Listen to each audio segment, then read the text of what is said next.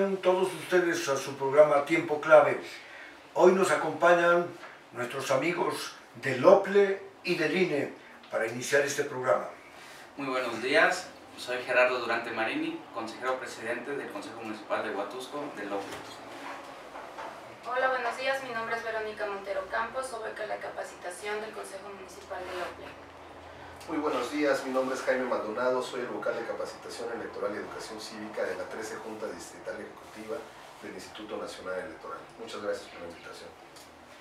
Para dar principio a este programa vamos a eh, preguntarle a nuestro amigo presidente del Consejo eh, Municipal del OPLE, al licenciado Gerardo Durante Marini, que nos eh, platique qué es el OPLE y cuál es su competencia, sus funciones y las personas que lo conforman. Este tema que nos inicie usted. Sí, bueno, de, entrada, bueno, todo el mundo oye la palabra OPLE. Bueno, ¿qué significa, no? Es el órgano público local electoral. Entonces, es un organismo que, se, que está a cargo de las elecciones, desarrollo de todo el proceso de las elecciones del Estado. Em, tiene, pues, depende de un consejo general y que está presidido por un consejero presidente y seis consejeros electorales que tienen derecho a voz y voto. Asimismo, dentro de este consejo general se encuentra o participan representantes de partidos políticos, ellos solo con derecho a voz.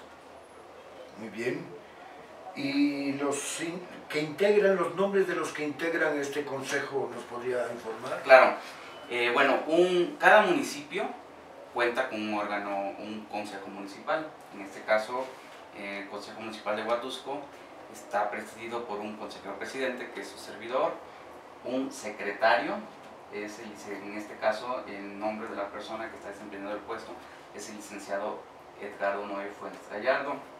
Asimismo tenemos dos vocales, un vocal de capacitación y un vocal de organización, que están presididos por el vocal de capacitación por la licenciada Eloisa Mariana Murillo y el, perdón, el vocal de capacitación está presidido por la licenciada Verónica Montero, ya estaba cambiando eh, de, rol, y el vocal de organización para la licenciada Eloisa Mariana Murillo. Asimismo tenemos cuatro consejeros electorales, eh, están presididos por el licenciado eh, Carlos Flores, la licenciada Carla Giselle Abelizapa, eh, la licenciada Mónica Rodríguez y el licenciado Julio Hernández. Todos nosotros guatusqueños. Es uno de los requisitos que seamos originarios del lugar o al menos tener una residencia mínimo de 5 años, de 5 a 3 años. Qué bueno, así estamos más a gusto, más contentos que nuestros paisanos sean los que participen en este órgano electoral. Perfecto. Vamos a continuar ahora con la parte muy importante de lo que es eh, el INE. Como no, buenos días. Les reiteramos este, el agradecimiento. En el Instituto Nacional Electoral estamos coadyuvando precisamente con el, con el órgano público local este, estatal que es el, que es el OPLE estamos colaborando en la organización y conducción de este proceso electoral local, donde vamos a renovar los 212 ayuntamientos que integran nuestra geografía este, local, nuestra geografía estatal. En la 13 Junta Distrital Ejecutiva, que es la que corresponde a este 13, este, este 13 distrito electoral, está, estamos colaborando también en un consejo que es, este, que es, que es eventual este, este consejo y es el órgano de máxima dirección en este, en este distrito en la conducción de este, este proceso electoral local. Perfecto. Licenciada, ¿usted qué nos puede decir de lo que es la capacitación eh, electoral en lo que son sus atribuciones y funciones? Bueno, sobre la capacitación electoral les puedo decir pues, que es fundamental que los, los que están a cargo en la casilla de recibir nuestros votos estén bien capacitados para que no haya errores, este, esto todo salga pues bien. Este, y pues es fundamental la capacitación y también que ellos pongan de su parte, eh, invitarlos bueno, a participar en el día de las elecciones como votantes y también pues que como funcionarios de casilla eh, hagan su mayor esfuerzo para que esto salga bien de la jornada. Muy bien. Los ciudadanos hemos tenido la preocupación generalmente cuando eh, nos enteramos de que no se cuentan bien los votos, por ejemplo, o cuando no se llenan bien las actas, por ejemplo. En este sentido, se está em, insistiendo mucho en esa capacitación, licenciado. Efectivamente, eh, nada más reiterarle a la audiencia que en este caso hay atribuciones propias del, del, OPLE y hay atribuciones del Instituto Nacional Electoral. Una de las atribuciones del Instituto Nacional Electoral a través de, la Junta Distrital Ejecutiva es que nosotros tengamos que llevar a cabo la integración de las mesas directivas de casilla. Esto implica que tengamos que capacitar precisamente a quienes van a ser los funcionarios de mesa directiva de casilla, que serán quienes reciban, quienes cuenten y registren precisamente los votos. Sí, fíjense que nosotros en el Instituto Nacional Electoral utilizamos una, este, un sistema de capacitación en cascada.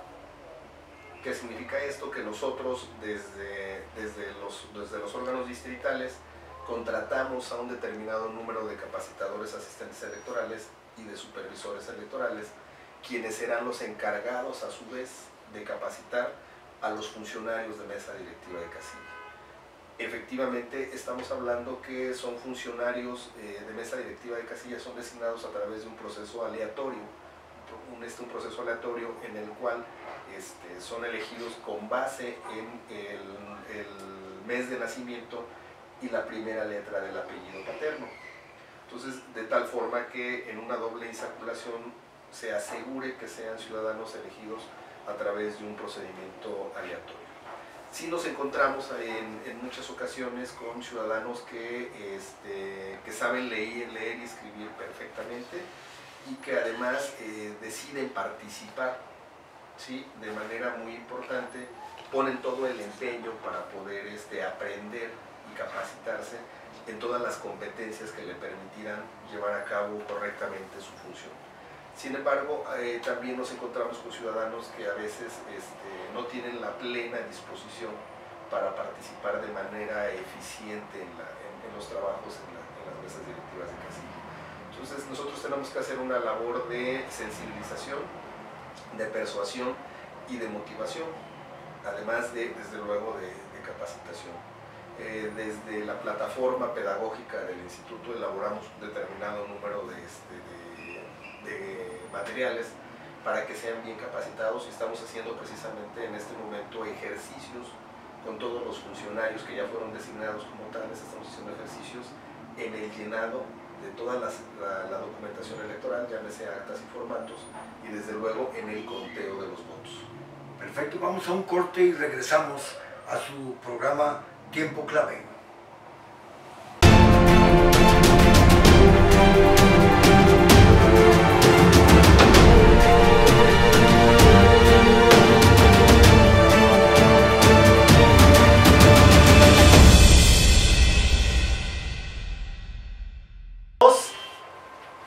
Estamos nuevamente en su programa Tiempo Clave. Vamos a continuar con la información que nos tienen nuestros amigos del OPLE. Sí, bueno, estábamos hablando en el anterior eh, segmento de la importancia de lo que es el proceso de, que se lleva a cabo una jornada sobre el recuento y, registro de las votaciones. Es importante también recalcar que en el, el, instituto, el OPLE, cuenta con una bodega electoral que está debidamente requisitada de acuerdo a como marca la ley, sobre todo que, es una forma muy segura. Eh, nosotros tenemos las sesiones eh, donde pues, son abiertas al público y van los representantes de los partidos. En la sesión anterior ya se les invitó a que conocieran la bodega, ya vieron, contacta, contactaron ellos que se encuentra debidamente equipada y bueno, eh, que es para resguardo los paquetes. Recordemos que en Huatusco hay 71 casillas, van a llegar 71 paquetes el día de la jornada esos paquetes se tienen que trasladar a las casillas. Posteriormente deben ser resguardados dentro de la bodega. Es importante también mencionar que las bodegas, para poder abrir y cerrar las bodegas, se requiere la presencia de todo el Consejo Municipal y los representantes de partidos. No es de que yo como presidente pueda ir a abrir y no. La puerta está debidamente sellada con sus em, etiquetas, por decirlo de alguna forma, y se lleva una bitácora de registro de, la apertura y de la cierre de la bóveda. Entonces, repito, para que podamos ingresar a esa bóveda, tiene que estar presente el consejo y los representantes de partidos. Entonces, el día de la jornada, posteriormente, cuando la gente va a votar y se cierra la casilla, eh, nosotros tenemos una sesión permanente que igual abierta este, encuentran todos los representantes de partidos y van ingresando las, los paquetes. En ese momento sacamos las actas y revisamos y vamos diciendo los resultados eh, que vienen mencionados en el acta. Si el acta contiene errores, está mal llenada errores, esos paquetes se, se, van, se apartan dentro de la bodega porque se tienen que recontar para que haya una... Eh, y se recuentan delante de todos los representantes de partidos. Entonces es importante también mencionar ese. Muy interesante porque esto ayuda a la credibilidad y a la confianza en el organismo electoral y en este proceso electoral, indiscutiblemente. Licenciado, ¿usted qué más podría usted ahondar en lo que es la, capacitación eh, más, dijéramos, la excelente capacitación que podría darse para los representantes, para los funcionarios de casilla? Muy bien. Eh, es, importante mencionar que la función, la función electoral ¿sí? depende de algunos, o se deben salvaguardar algunos principios, algunos principios rectores. Uno de ellos precisamente es la legalidad y la certeza. ¿sí? La, este, asegurar a la ciudadanía y a los actores políticos la legalidad, la imparcialidad y la certeza jurídica de cada uno de los actos que emite los órganos locales. Ya les refería en el segmento anterior que es necesario que los funcionarios de mesa directiva de casilla resulten de un procedimiento aleatorio. Eh, es importante que estos ciudadanos desde luego participen de manera decidida y de manera eficaz, que sepan, que, tengan todos los conocimientos y las habilidades para desempeñar su función. Y eh, para abonar desde luego a la, a la certeza y a la legalidad, quiero decirles que durante la durante la jornada electoral hay algunos, algunas causas de posibles este, nulidades de la votación en la casilla. Nosotros tenemos que capacitar de manera exhaustiva a nuestros funcionarios para que ellos puedan este, hacer su trabajo eficaz y no caer precisamente en estas causales de nulidad en la casilla. Voy a referir algunas de ellas, por ejemplo, eh, lo vamos a hacer por tiempos. En el tiempo de la instalación de la mesa directiva de casilla, que en este caso va a ser el 4 de junio, empezamos a las 7.30 de la mañana. La casilla no se puede instalar antes de las 7.30 horas, porque si se instala antes estaríamos incurriendo precisamente en una causal de nulidad. La casilla, por ejemplo, no puede ser integrada por personas diferentes a las designadas previamente, porque si eso fuese, también estaríamos incurriendo en una causal de nulidad, que es que la mesa directiva de casilla se integre por personas diferentes a las designadas. Y eh, otra causal de nulidad en el momento de la instalación es que la casilla se instale en un lugar distinto al previamente aprobado por el, por el Consejo Distrital del Instituto Nacional Electoral. Ahí son algunas causales de nulidad que eventualmente pueden impactar en la jornada electoral y desde luego en el resultado de la. Durante el transcurso de la, jornada electoral por ejemplo, no está permitido que personas voten si no tienen el derecho de hacerlo. ¿A qué me refiero? Que es requisito indispensable que para que puedan emitir su voto es elemental que estén inscritos en la lista nominal, que aparezcan en la lista nominal, pero además que porten su credencial para votar con fotografía. Sin esos dos requisitos no es posible que, este, que, puedan, que puedan votar. Nada más hay una salvedad en algunos casos de que algunos ciudadanos interponen algún recurso administrativo para que se les permita votar y es una sentencia del tribunal quien determina si se les permite o no votar por este, porque hicieron un trámite extemporáneo para tener su credencial para votar. Son casos muy aislados, pero el requisito en términos generales es que tengan su credencial para votar y que además estén inscritos en la lista Y ahí nuestros, nuestros funcionarios de la directiva deben de estar muy bien capacitados para que tengan esta información y no permitan que alguien que no cumpla o que incumpla con estos requisitos pueda votar y de esta manera salvaguardar la, este, la certeza y la legalidad de la votación recibida en la casilla. Esto nos daría pie para eh, introducirnos a lo que serían, por un lado, las causas o causales de nulidad que menciona usted, pero también eh, nos interesa mucho que ustedes nos informen sobre los delitos electorales. Eh, a ver si usted, licenciado, nos puede dar, usted, que guste, a ver todos los delitos electorales que se tienen contemplados y que desde luego los representantes de partido, pues entre otros derechos que tienen, son esos, ¿verdad? Los de denunciar los delitos electorales. Bueno, de entrada habría que definir qué es un delito electoral, ¿no? Bueno, un delito es, se puede, palabras mm, digeribles, se puede decir que es una conducta prohibida, que en este caso afecte la democracia de, pues, de México, ¿no? de entrada, bueno, hay que entender eso, ¿no? Ahora, ¿quiénes pueden hacer un delito electoral? Pues cualquier persona, ¿no? Hablando de cualquier persona, ciudadano, representante de partido, funcionario de casilla, representante, funcionario electoral, incluso a personas que se dedican al culto religioso, ¿no? Entonces, bueno, ¿qué puede ser un delito? Por poner dar, citar un ejemplo, que, que alguien te quiera persuadir para que tú votes por cierto candidato, cierto partido, ¿no? Em, puede ser que el día que vayas a, votar a tu casilla no te dejen entrar, por alguna razón no te dejen, no te dejen entrar, que tú te, des cuenta que alguien está votando con una credencial falsa, por poner otro ejemplo. Em, que si tú trabajas en una dependencia gubernamental, por decirlo de alguna manera, eh, tu superior te quiera persuadir para que votes por X partido X candidato.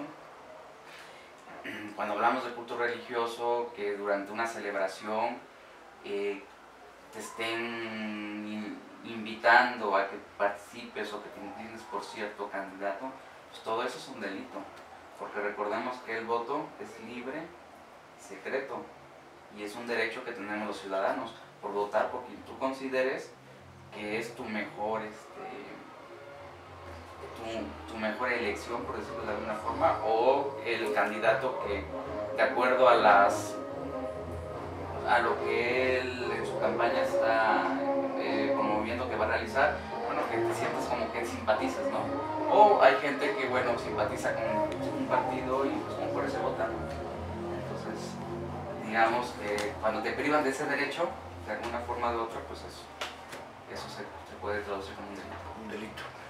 Vamos a hacer nuevamente una pausa y regresamos con más delitos electorales.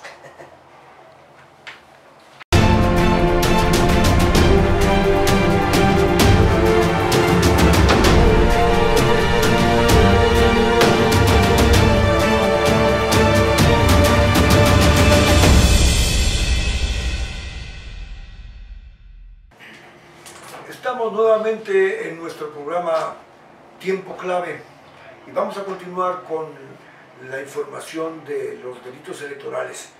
¿Quiénes son los encargados? ¿Qué organismo es el encargado? ¿Qué institución es el encargado? Y que nos puedan informar para que la ciudadanía sepa dónde denunciar los delitos electorales. Claro, es un punto muy interesante porque mucha gente cree o piensa o tiene la idea que nosotros como OPLE, o en el caso de INE, que son, somos los encargados, por decirlo de alguna forma, de castigar a, pues cuando hay un delito electoral, ¿no? Entonces, bueno, es importante eh, hacer ese, esa mención, que de, estamos platicando de lo que son los delitos. Bueno, hay una, un organismo que es la FEPADE, que es la que se encarga de darle seguimiento a todos los delitos electorales. Hay un, de hecho salen los anuncios en la televisión y tenemos, bueno, se cuenta con un teléfono y un correo electrónico. El teléfono es el 01800 833 72 33 y lo repito 01800 833 72 33 o por vía electrónica el correo electrónico todo minúscula es fepadenet arroba pgr.gov.mx cabe mencionar que nosotros como consejo municipal estamos facultados para en caso de que existiera algún delito, dar fe de esos hechos. ¿Qué quiere decir?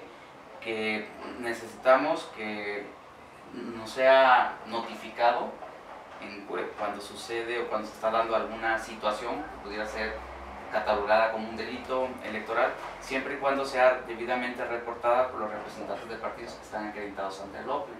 Esto es que nosotros como organismo podemos recurrir o asistir al lugar donde se están dando se está dando esa situación y emitir un emitir un reporte donde damos fe de que efectivamente se, se presentó tal situación nada más volver a hacer mención y recalcar que siempre y cuando sea a través de los representantes del partido que están debidamente acreditados ante el OPE.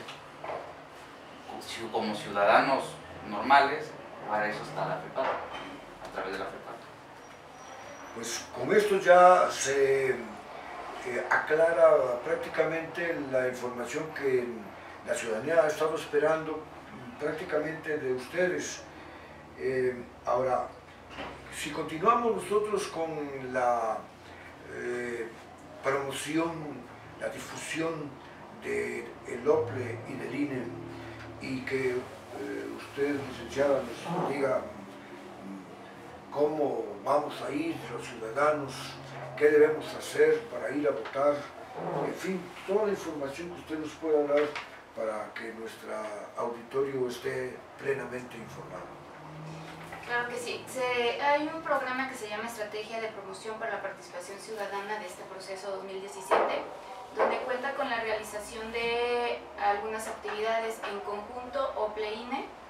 Ahorita se tiene programado poner un stand estos días de carnaval, sábado y domingo en la Alameda, donde se estará dando pláticas sobre, sobre el voto, el voto este, así pensado, razonado, este, para orientar a la ciudadanía a que se acerquen a, lo, a sus candidatos, a que los conozcan, a que vean las propuestas que tienen, qué propuesta les ofrece a la ciudadanía cada candidato y cuál es la más viable para, ahora sí, para que cada quien se incline a la que piense que es la mejor opción para él y como, así como para Huatusco. También en otros municipios se tienen destinadas otras actividades, como por ejemplo en el municipio de Puente Nacional, el Consejo Municipal de ahí tiene destinada una carrera para el día 30 de abril que se llama Corre o trota pero bota. Y nosotros también estamos planeando una carrera, todavía no, sale, no sacamos la convocatoria, sería para el 21 de mayo. Este, dichas actividades se van a estar este, promocionando antes para que la ciudadanía participe y tenemos este, lunes cívico en algunas instituciones escolares, este, domingo cívico, que sería en los parques, para motivar a la ciudadanía que ejerza su voto. Como les digo, no solamente buscamos que voten, sino que hagan un voto razonado, o sea, un voto válido, que, que se acerquen, que pregunten y que vean la, la, propuesta más viable. Muy bien, perfecto. Eh, pero a propósito de que los ciudadanos conociéramos más a los candidatos. ¿Tienen preparado o está planeado o pensado algún debate público este, de, los candidatos? Mm, sí, claro, todavía no se tiene fecha, pero sí se tiene una comisión que está encargada de los debates en el organismo público electoral aquí del Consejo Municipal y no se tiene la fecha, pero igual se va a sacar la convocatoria y se va este, a dar promoción el día, el lugar y los candidatos a participar, porque eh, no se les puede obligar, es por elección, es el que quiera y pues igual se... O sea, es una convocatoria para el que quiera y exponer su plataforma política y pues para que toda la ciudadanía tenga acceso a ese debate. Es una invitación que se les hace a los candidatos, ¿no? A se les dan los puntos a, platicar o a debatir. Y ya es opción de ellos si desean o no asistir. Entonces nosotros en su momento, como comentó la licenciada, estaremos invitándolos a los candidatos y bueno, esperamos que haya respuesta de ellos, ¿no? Y siendo así, bueno, organizaremos el debate y debidamente lo daremos a, lo haremos la promoción adecuada para que la ciudadanía se entere y asista pues cuentan con nosotros, con tiempo clave y con esta empresa que para ustedes es, están las puertas abiertas y para toda la ciudadanía. Ahora, eh, para ir terminando nuestro programa, eh, los, lo que en un proceso electoral municipal eh, para la ciudadanía requiere que los candidatos expongan eh, manifiesten, digan sus plataformas, en fin. Hay una plataforma que debe haberse registrado por los partidos políticos, ¿no? Bueno, pero independientemente de esa plataforma, ah, vienen las propuestas como candidatos a presidente, eh, hay algunas propuestas a, candidatos a síndicos, a regidores, ¿qué voy a hacer como regidor? ¿Qué voy a hacer como síndico? ¿Qué voy a hacer como presidente? ¿Hay algo de eso? ¿Qué nos pueden platicar de eso? algo, no sé si algo de capacitación. Este, bueno, yo nada más podría comentar que eh, efectivamente quiero, darles un antecedente. Eh, no hay ningún precedente de que el Instituto Nacional Electoral, al menos en el estado de Veracruz, haya participado en una elección municipal. Es la primera vez que el Instituto Nacional Electoral, en coadyuvancia con el, con el, con el OPLE, en, el, estado, estamos participando en esta elección. Eh, el referente es que eh, se registró una planilla. Para el caso de las elecciones municipales se registra una planilla integrada, desde luego, por el, este, candidato a este alcalde, así como también a, este, a síndico y las regidurías que van dependiendo del, número de regidurías que tenga cada municipio. Es una plataforma este, integral donde ellos tienen a su vez que dar a conocer a la ciudadanía cuáles son sus acciones de gobierno eh, y van en conjunto, desde luego, con, este, con quien encabezaría la planilla, que es precisamente el, el candidato a presidente municipal.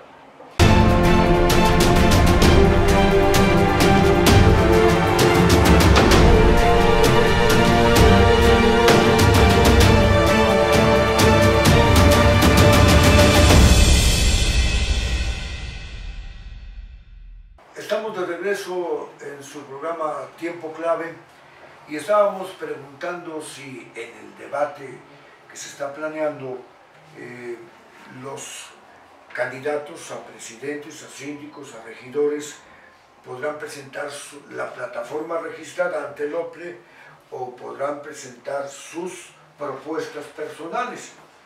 ¿Qué nos pueden decir respecto bueno, a eso? el debate eh, todavía no se tiene fecha, porque hoy es el último día de registro de candidatos. Primero tienen que estar registrados los candidatos para después poder hacer la invitación al debate. Este, se tienen pensados algunos este, temas en general, como por ejemplo educación, este, inseguridad, eh, eh, varios temas más. Eh, estos temas se sortean y se, se, sortean entre los candidatos y a que, a que le toque a cada uno. O sea, ya el tema que le toque a cada uno por sorteo es el que va a desarrollar en el debate. Obviamente ahí también van a decir, este, porque hay otro tiempo para temas libres, donde pueden este, exponer sus plataformas políticas, que ya de cada uno. Y el debate solamente está dirigido para los este, candidatos a alcalde. Los síndicos, regidores no, no, participan en el debate, solamente los que van por la alcaldía. Muy bien. Eh, en esta parte de los debates que se organizan en este caso el OPLE y el INE, este, nosotros hemos eh, escuchado de la ciudadanía que se pudiera incluir en ese, en ese cuestionario, en, esa, en ese orden de preguntas, este, qué van a hacer nuestros alcaldes en relación a la transparencia y la rendición de cuentas. Claro, eh, bueno, estamos, como acaba de decir la licenciada, eh, en breve iniciaremos con el, por decirlo de una forma, la organización de este debate, donde vamos a, incluir los, los temas. Aún no nos han confirmado eh, qué temas son los que vayan a, incluir, pero sería interesante mencionar o hacer mención sobre un tema relacionado pues, a la transparencia, que es un tema que a, toda la ciudadanía de hoy en día lo tenemos muy presente, ¿no? Entonces, como comentaba la licenciada, eh, se les va a dar los temas a desarrollar, los que tienen que hablar, y obviamente ahí tienen que, tendrán que ellos participar de alguna forma de acuerdo a lo que ellos están planteando ¿no? en sus propuestas. Eh, ahora, aunado a la transparencia y rendición de cuentas que, que ya es un, es un, es un clamor general ¿no? de todos, a nivel nacional, y yo creo que en el mundo. Aparte de esto, eh, ojalá y se pudiera incluir qué van a hacer nuestros candidatos, si llegan a ser alcaldes, en lo que corresponde al combate a la corrupción. Claro, es un tema, hablar de transparencia, hablar de corrupción, son cosas que nos tocan vivir día a día y pues es algo prioritario, ¿no? Y a nivel no solo local, sino nacional.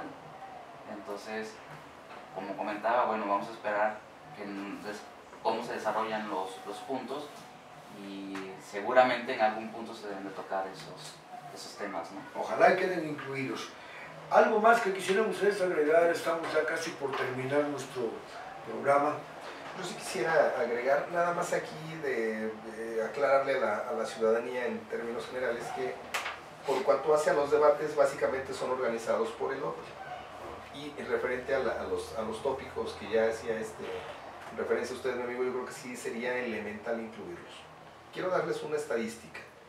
Fíjense que eh, hace algunos años no teníamos ningún mecanismo para la transparencia y la rendición de cuentas. Actualmente contamos ya con un Instituto Nacional de, este, de Acceso a la Información, contamos con un Instituto Estatal de Acceso a la Información, sin embargo, fíjense que eh, el Instituto Nacional Electoral acaba de aprobar un, programa que se llama Encívica. La Encívica eh, es un eh, previo a, que se aprobara este, este programa, hace un diagnóstico de cuál es la, este, la situación de cada uno de esos, este, de esos rubros, de esos, de esos temas. Quiero decirles que a nivel nacional un aproximado del 6% de la población ha solicitado alguna información pública. Es un porcentaje que si lo, vemos la verdad es que es un porcentaje muy bajo. En algunos casos efectivamente hay un, hay clamor por, este, por estos temas, pero ya en, la, en las cifras, y ahora es muy fácil además, en las cifras no se ha reflejado. Me parece que también hay un desinterés ciudadano y precisamente estos este, foros de reflexión son precisamente para invitar a la ciudadanía, y ya adelantando un poco al siguiente, al siguiente este, bloque, invitar a la ciudadanía que participe, que se informe. La rendición de cuentas es elemental y me parece que es un complemento de una gestión pública. Una gestión pública sin rendición de cuentas, sin, este, sin información, no es precisamente una, una, cuestión, una, una este, gestión pública eficiente los ciudadanos que somos quienes tomamos la decisión en las urnas para, este, para cada uno de nuestros representantes es necesario y es elemental que estemos informados de todas y cada una de las acciones del gobierno. Qué bueno que eh, el INE esté retomando, dijéramos, las iniciativas ciudadanas. ¿Por qué? Porque la ciudadanía nos hace falta eh, tener mayor credibilidad, mayor confianza en las instituciones y sobre todo tener mayor confianza en nuestros gobernantes. Y desde luego que todo lo que se pueda aplicar para mejorar la vida de los ciudadanos y que ustedes están eh, en mejores condiciones de aportar en esta ocasión. ¿Algo más que quisiera? Sí, bueno, eh, también agradecer la invitación que, nos hicieron, porque pues, por medio de esta plataforma, bueno, explicar un poco a la ciudadanía pues, qué es el OPLE, cuál es su ámbito de competencia, cómo nos coordinamos con el INE para poder desarrollar toda la jornada. Y algo muy importante que se ha licenciado, invitarlos a, pues, a que se sumen, ¿no? a, a participar en manera activa en, todo este proceso. Es importante que vayamos el día 4 de junio pues, a votar. Y como comentaba la licenciada también, es importante razonar nuestro voto y también sumarnos a la rendición de cuentas de los, de los, de los ayuntamientos, ¿no? Y, y, bueno, y hacer eh, mención también de que bueno, eh, nosotros como organismo pues estamos trabajando bajo ciertos, bajo nuestros principios que nos rigen, que ya se mencionaron, y garantizar, el, este, el, objetivo es garantizar a la ciudadanía que este proceso que está ya en puerta, bueno, que se debe realizar de acuerdo, de forma transparente, de acuerdo a la ley, y pues agradecerles nuevamente la, la invitación al programa. Pues estas eh, puertas están abiertas y yo creo que la ciudadanía lo, ha estado viendo de manera muy satisfactoria. Y el que ustedes estén ahora en este programa, pues para nosotros es un honor, un privilegio, es ser eh, colaboradores con ustedes, servidores para la ciudadanía, que a fin de cuentas es un deber de todos los ciudadanos, eh, participar en los procesos electorales y en la vida democrática de nuestro país, mejorar esta vida.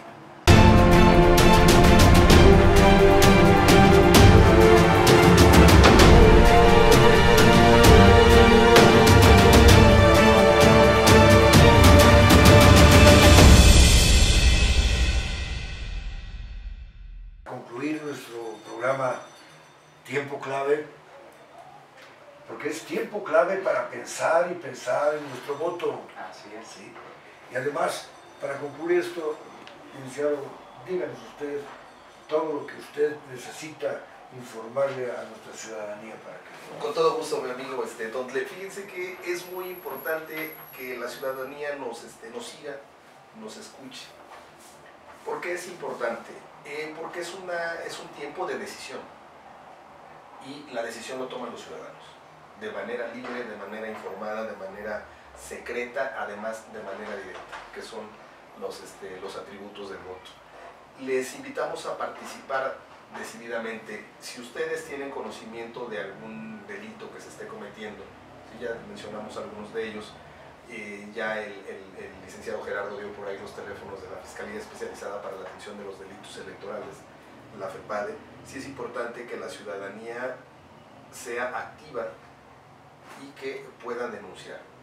Acuérdense que también los invitamos a participar y hay muchas formas de participar y de manera muy rápida, porque sé que el tiempo también este, en este tipo de plataformas es vital. La gente o la ciudadanía en general puede participar, desde luego como candidato, puede participar en cualquier campaña y con cualquier candidato, puede participar como observador electoral, los invitamos precisamente a, este, participar como observadores electorales. El día domingo tenemos la fecha límite para que se registren como observadores electorales, pueden hacerlo directamente en las oficinas del OPLE o bien en las, oficinas del INE. Estamos ahorita eh, integrando las mesas directivas de casilla, es elemental que la ciudadanía participe en la integración de las mesas directivas de casilla y por supuesto también que participen como votantes. Es vital la participación y lo resumiría de esta manera. Si no hay participación ciudadana, definitivamente no puede haber elecciones. Entonces por eso invitamos a la ciudadanía a que participe en todos los, este, actos públicos, que la ciudadanía finalmente se apropie del espacio público, que se apropie de los, de los espacios de decisión política de nuestro. Esa es la invitación a que salgan a votar, a que integren las mesas directivas de casilla, que participen como observadores, pero finalmente que se refleje esa participación el día de la jornada electoral. Muchas gracias por este tiempo. Licenciado. Bueno, nada más reiterar que el día 4 de junio por, todos salgamos a votar. Los jóvenes es importante que, que a lo mejor hay mucho joven que es su primera vez que va a votar, bueno, que vaya y hacer conciencia del voto que estamos dando. Escuchar bien las propuestas de todos los candidatos y votar por la propuesta que mejor se apega a los principios de cada quien. Muchas gracias. Pues agradecemos la, la presencia de ustedes, pero antes tenemos que concluir con lo que la licenciada nos va a decir para terminar este programa. Bueno, de mi parte solamente recordarles este, las características del voto para que no vayan a incurrir en, en, algún delito electoral, pues que el voto es universal, libre, secreto, directo, personal e intransferible y que aparte votar es una obligación, un derecho y una obligación de todos los ciudadanos. Y muchas gracias por su tiempo, por su atención y esperamos su participación. Agradecemos la presencia de licenciado Gerardo Durante Marini, presidente del Consejo Municipal de. Muchas gracias. Al señor licenciado, mi amigo, amigos, Jaime Maldonado Galindo, vocal de capacitación electoral y cívica del INE, y a nuestra amiga licenciada Verónica Montero Gracias. Campos, vocal de capacitación de López. Y a ustedes no se olviden que el viernes tenemos nuestra cita. Los esperamos. Gracias a ustedes.